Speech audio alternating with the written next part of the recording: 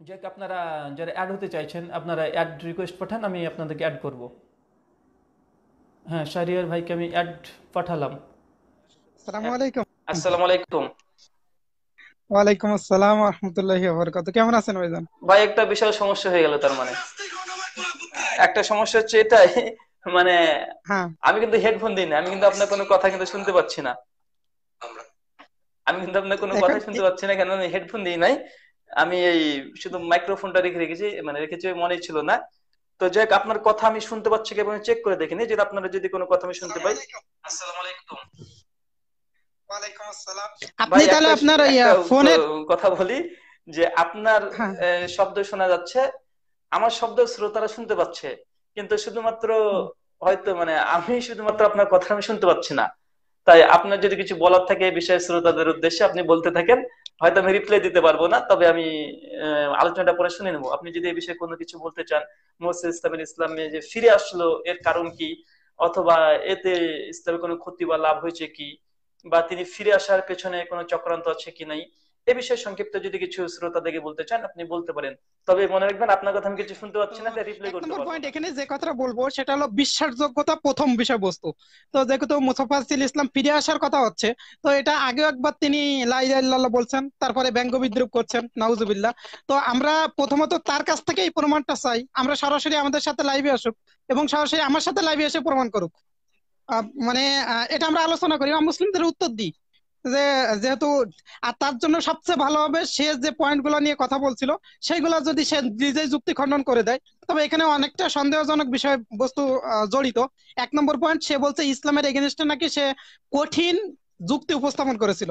কেউ যদি ইসলামে ফিরে আসে, তারপর যদি বলে যে ইসলামের বিপরীতে কঠিন যুক্তি উপস্থাপন করেছিল, এখানে শুরুতেই সন্দেহজনক।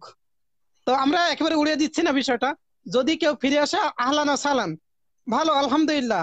এটা সবার জন্য ভালো। অনেকে অনুপ্রেরণা পাবে। কিন্তু এটা মেইনলি তার নিজের জন্য ভালো। এখানে ইসলামের কোনো উপকার বা ক্ষতি নেই। ইসলাম কেউ আসুক আর ইসলাম থেকে চলে যাক, এখানে ইসলামের কোনো লাভ ক্ষতির বিষয় নেই। একজন ব্যক্তির নিজের উপকার বা ক্ষতি রিলেটেড যদি সে ফিরে আসে, তাহলে এই পৃথিবীতে তার জন্য উপকার আছে। সে শান্তিতে থাকতে পারবে। তারপরে সে একটা ভালো পিসফুল লাইফ পাবে। অন্যদিকে সে পরকালেও মুক্তি পাবে, আলহামদুলিল্লাহ। যদি না ফিরে আসে, এটা তার জন্য ক্ষতি। এখানে ইসলামের কোনো উপকার ক্ষতি থামাতে চাইছি।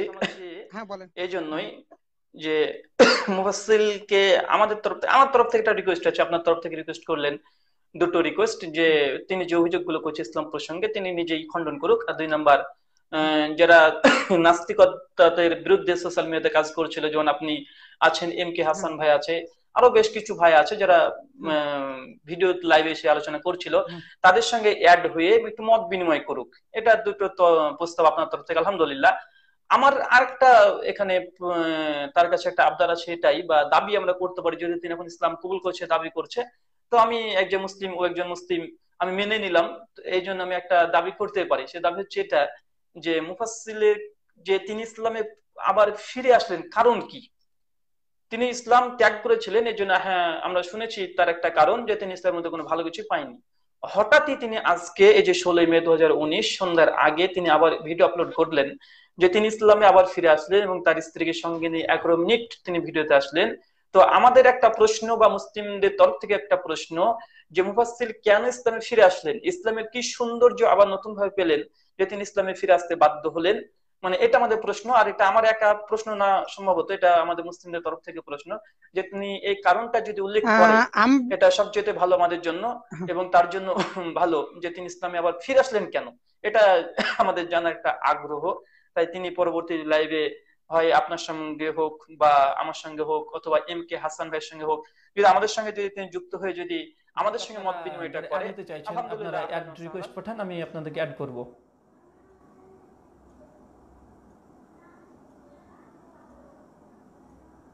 আচ্ছা কেউ কি অ্যাড হতে চাইছেন? যদি অ্যাড হতে চান, আমরা অ্যাড করব।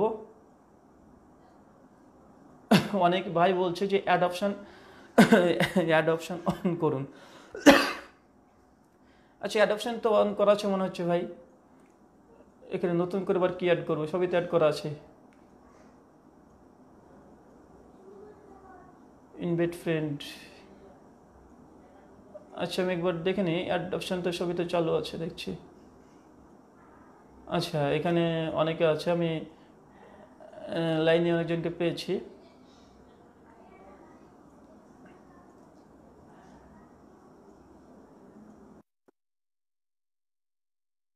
রাজিবুল ভাইকে অ্যাড পাঠিয়েছি, দেখা যাক রাজিবুল ভাই অ্যাড হন কি। আচ্ছা আমার মোবাইলটা কিন্তু প্রোটেক্ট করা আছে, আপনারা সকলে এইভাবে মোবাইলটাকে ধরবেন। এই জন্য অনেক সময়তে অ্যাড হয় না। মোবাইলটা আপনারাও এইভাবে ঘুরে নেবেন। মোবাইলটাকে আপনারা এইভাবে এইভাবে ঘুরিয়ে নেবেন, এইভাবে রাখবেন না। মোবাইলটাকে এইভাবে ঘুরিয়ে নেবেন। কেন মোবাইলটা এইভাবে ঘোরানো আছে, এইভাবে যদি ঘোরান, তাহলে অ্যাড সম্ভবত হবে না আমার জানা মতে। তাই যখন আপনাদেরকে অ্যাড পাঠাচ্ছি অ্যাকসেপ্ট করার সময় আপনারা এইভাবে মোবাইলটাকে ধরবেন। যে রাজুল ভাইকে অ্যাড করেছিলাম, কিন্তু তিনাকে তো দেখছি না অ্যাড তিনি হলেন না। অনেকেই আছে। ভাই, আমি তো অ্যাড রিকোয়েস্ট পাঠিয়ে দিয়েছি, এখানে তো অনেকেই আছে। আমি তো অ্যাড তো রীতিমতো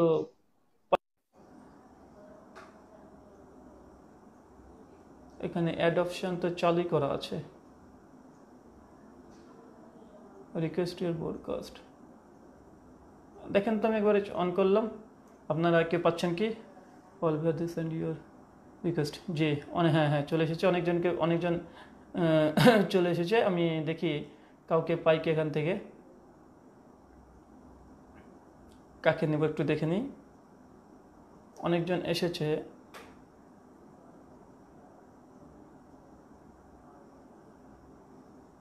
অনেকজন এসেছে।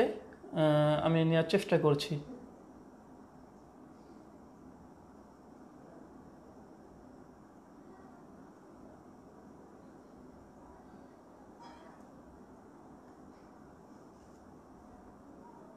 রাসেল আহমেদ বলে কোন এক ভাই আছে। তাকে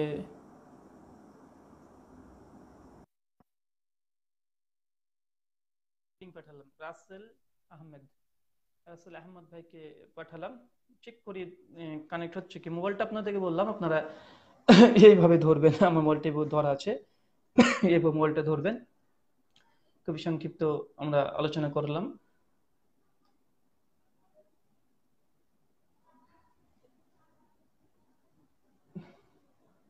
যে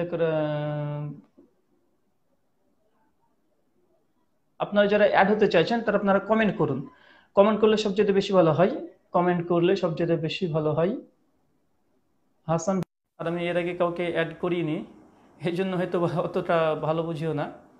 তো, আর মোবাইলটাকে আমি প্রোটেক্ট করে ধরে রেখেছি, এই জন্য হয়তো বা না আসতে পারে।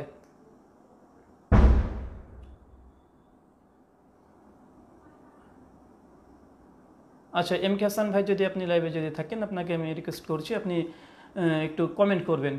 একটু কমেন্ট করলে বেশি ভালো হয়। শারিয়ার ভাইকে হ্যাঁ শারিয়ার ভাইকে আমি অ্যাড পাঠালাম।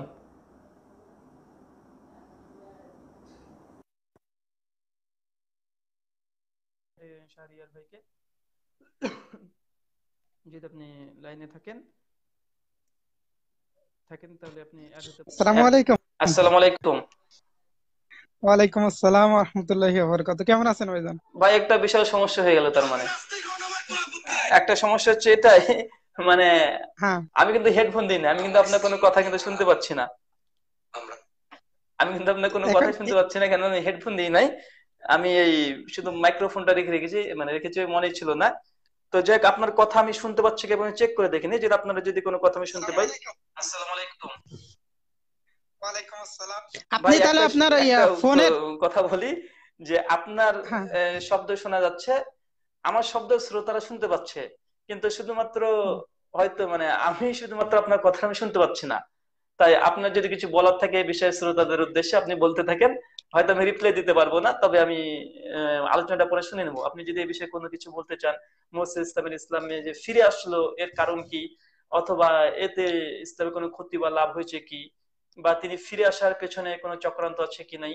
এ বিষয়ে সংক্ষিপ্ত যদি কিছু শ্রোতা দেখে বলতে চান, আপনি বলতে পারেন। তবে মনে রাখবেন, আপনার কথা আমি কিছু শুনতে পাচ্ছি না, তাই রিপ্লাই করতে পারব না।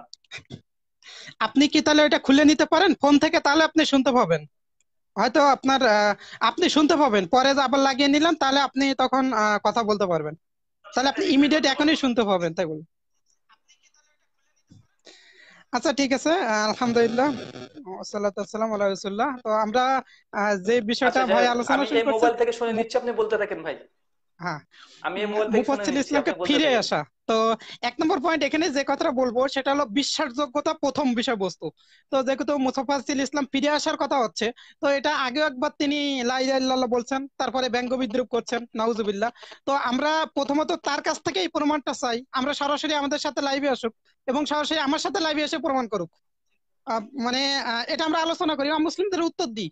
যে, যেহেতু আর তার জন্য সবচেয়ে ভালো হবে সে যে পয়েন্টগুলো নিয়ে কথা বলছিল, সেইগুলো যদি সে নিজেই যুক্তি খণ্ডন করে দেয়, তবে এখানে অনেকটা সন্দেহজনক বিষয় বস্তু জড়িত। এক নম্বর পয়েন্ট সে বলছে ইসলামের এগেনস্টে নাকি সে কঠিন যুক্তি উপস্থাপন করেছিল।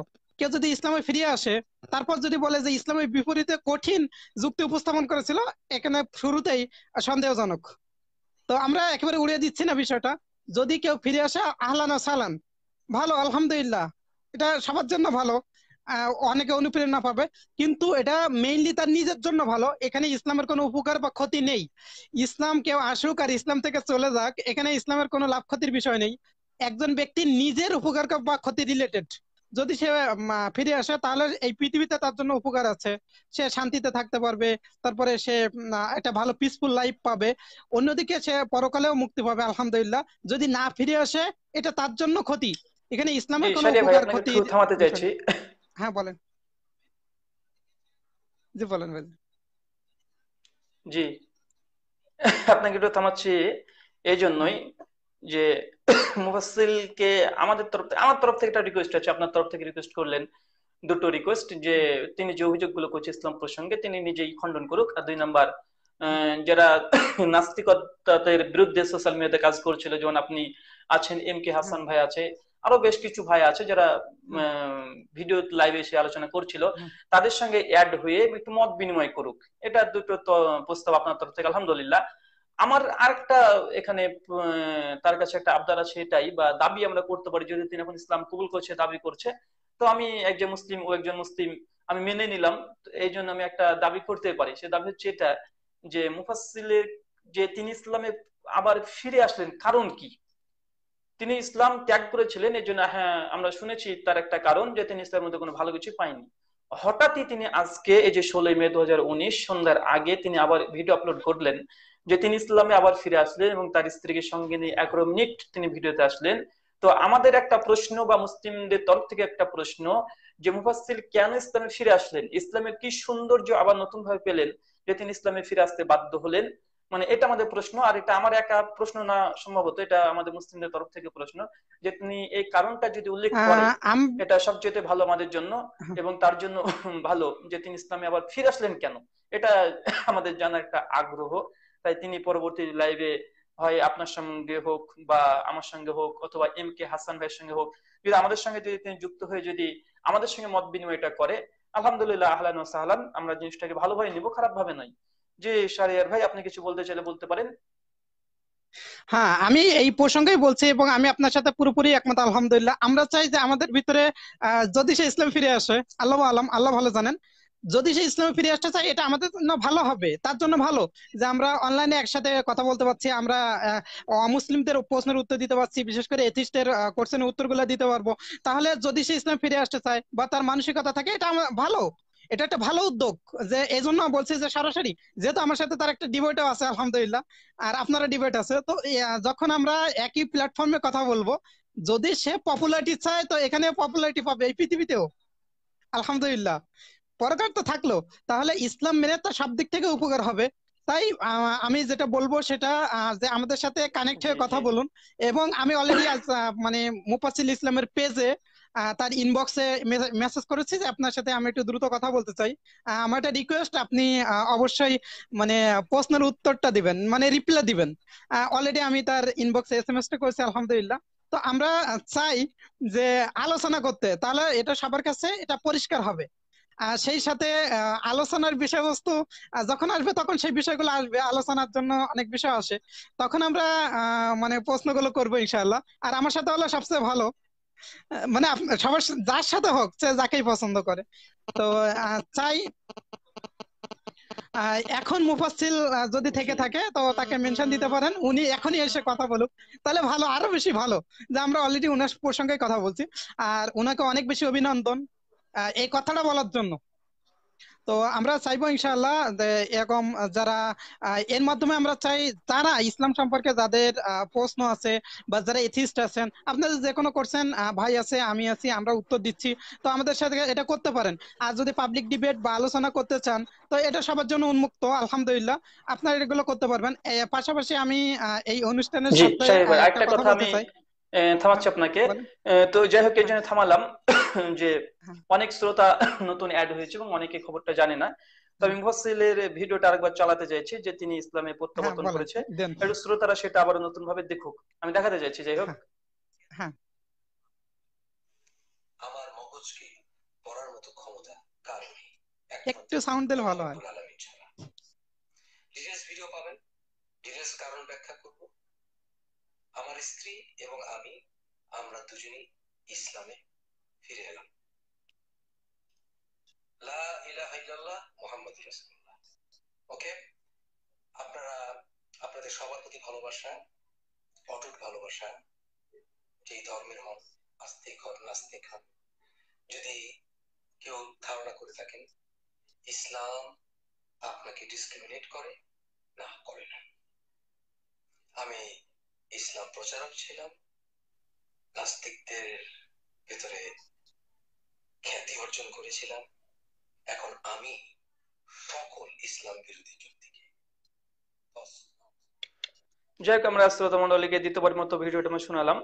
মহসিল নাস্তিকতা থেকে পরিত্যাগ করে তিনি আবার ইসলামে এসেছে। আলহামদুলিল্লাহ, আহলান সাহালান। আমরা শুধুমাত্র দোয়াই করতে পারি। কারণ আমার যত সম্ভব একটা ঘটনা মনে পড়ছে।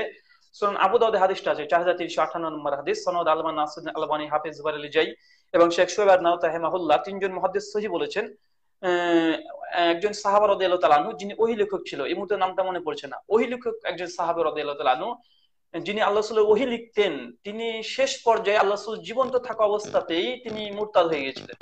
তিনি কাফেরদের সঙ্গে তিনি হাত মিলিয়েছিলেন এবং ইসলামের বিরুদ্ধে আচরণ করেছিলেন। মুসলিমদের জন্য অনেক তিনি ক্ষতি সাধন করেছিলেন। একজন সাহাবি যিনি আল্লাহর ওহি লিখক ছিলেন। তো এটা আছে আবুদার জাহাজের তিনশো আঠান্ন নম্বর হাদিস দ্বারা প্রমাণিত। তো পরবর্তী সময় আলহামদুলিল্লাহ এই সাহাবার আনহুম তিনি আবারও তিনি ইসলামে প্রত্যাবর্তন করেছিলেন। আর ইসলামে যখন প্রত্যাবর্তন করে আসে সরি মানে এখানে একটা ঘটনা আছে, যখন তিনি মুরতাদ হয়ে যান, তখন আল্লাহ তাকে হত্যার জন্য বলা হয়। আর এই সাহাবি তখন ওসমান বিন আফান রদিয়াল্লাহ ইসলামের তৃতীয় খলিফা, তার সম্পর্কে খুব একজন নিকটীয় আত্মীয় ছিল। ওসমান রদিয়াল্লাহ সেই সময়তে আল্লাহ রসুলকে রিকোয়েস্ট করে যেন তারপরে হত্যাটা না করা হয়। আল্লাহ তখন হত্যাটা মুকুব করেছিলেন যে, না, ঠিক আছে, হত্যা করা যাবে না। তো পরবর্তী সময়তে এই সাহাবি যিনি মুরতাদ হয়েছেন, ইনি কিন্তু পরে আবার ইসলাম কবুল করেছিলেন। আলহামদুলিল্লাহ। এবং তিনি ইসলাম কবুল করার পরে ওসমান রদি আল্লাহ আনু তিনি খিলাফতের সময়তে বিভিন্ন জায়গাতে তাকে প্রেরণ করেছিলেন।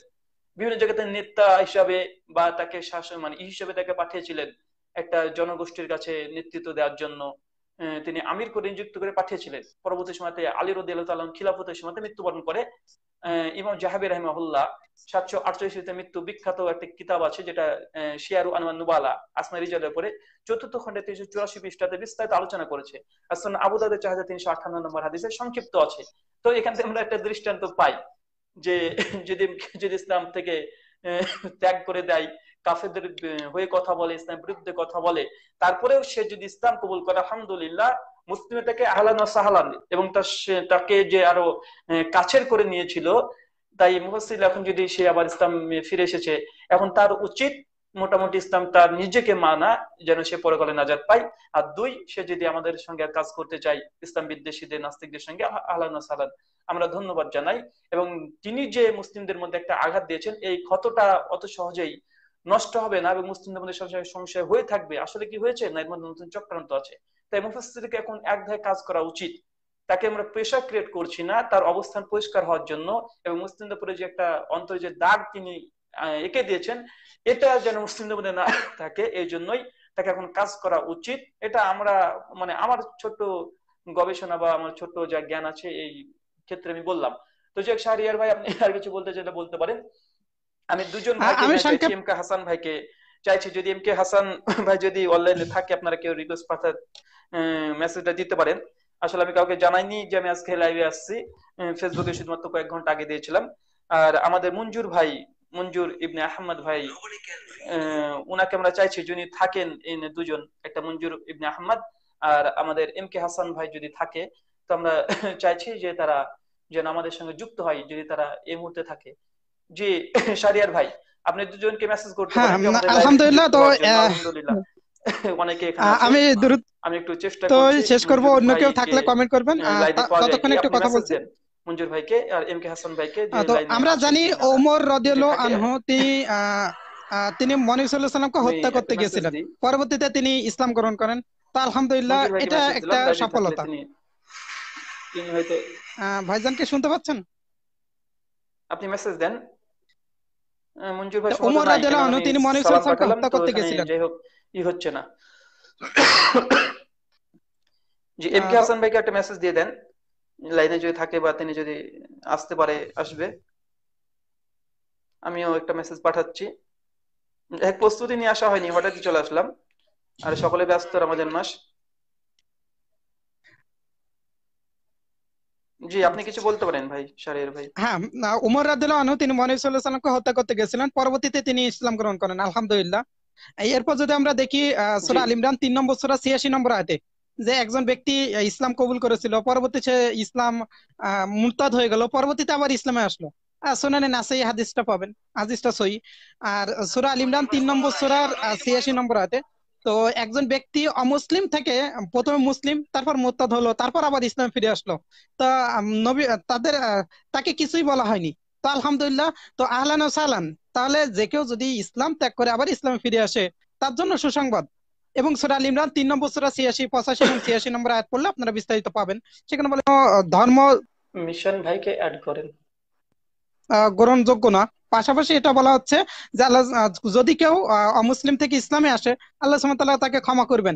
তাই আমরা বলব যে মুফাসিল ইসলাম চাই আমাদের সাথে দ্রুত তিনি যোগাযোগ করুন এবং অনলাইনে লাইভ আলোচনা করুক, এক নম্বর পয়েন্ট। দুই নম্বর পয়েন্ট, তার সম্পর্কে যে সন্দেহ সংশয় আছে, এগুলো তিনি নিজেই দূর করুন। তিন নম্বর পয়েন্ট যে বিষয়গুলো তার সম্পর্কে তাকে কেন্দ্র করে হয়েছিল এগুলো যাতে পরিষ্কার করেন, এই দাবিগুলো আমরা রাখছি বা এই কথাগুলো আমাদের থাকবে। তো এটা একটা সংক্ষিপ্ত মেসেজ আমাদের সবার পক্ষ থেকে রুল ভাই বলেছেন, আলহামদুলিল্লাহ। তো দ্রুত তিনি আমাদের সাথে যাতে কথাবার্তা বলেন অনলাইনে সরাসরি যুক্ত হয়ে এবং তার সবটাই ছিল সংক্ষেপে আলহামদুলিল্লাহ, তানভীর ভাই এসেছেন। তো তানভীর ভাই, আপনি মেসেজ দেন। আপনি কমেন্ট করেন। তাহলে তানভীর ভাইকে যুক্ত করে কথা বলতে পারেন, ইনশাআল্লাহ।